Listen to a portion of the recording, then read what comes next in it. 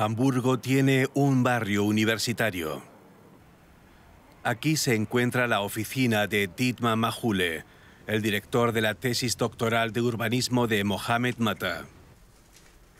En aquel entonces, Atta se hacía llamar Amir. Mahule no podía creer que su estudiante fuera uno de los pilotos que estrelló los aviones contra las Torres Gemelas.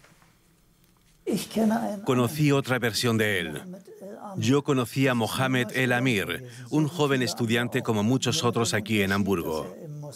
La única diferencia es que él era musulmán. Era muy creyente y muy comprometido. Después de haberle dado muchas vueltas, tengo que decir que no hubo nada que me llamara la atención.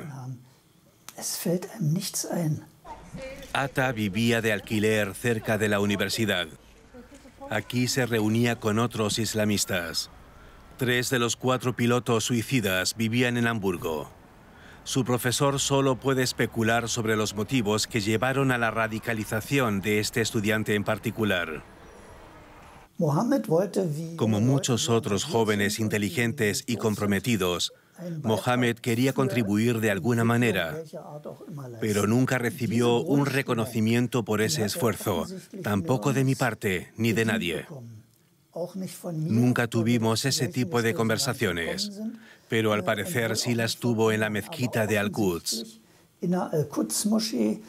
Esta mezquita se encontraba bajo una fuerte influencia salafista, una rama radical del Islam. Ata y los otros terroristas del 11 de septiembre venían con frecuencia. El templo, cerrado desde entonces, estaba en el punto de mira de las autoridades.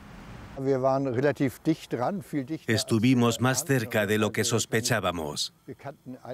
Conocíamos algunas personas del entorno, pero no supimos reconocer las estructuras ni anticipar lo que tenían en mente.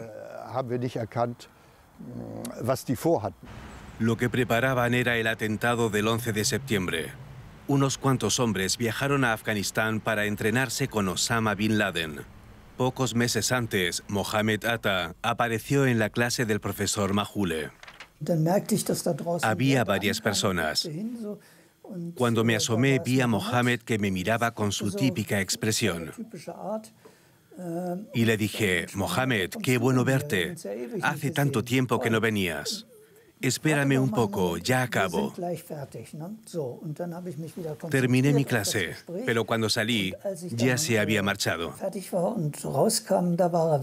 Mahule está seguro de que esa fue su forma de decir adiós.